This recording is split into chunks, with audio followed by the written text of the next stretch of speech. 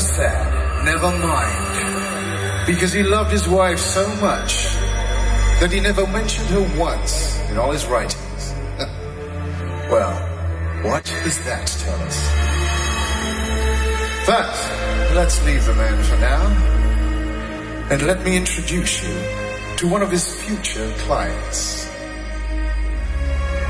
The Queen of France.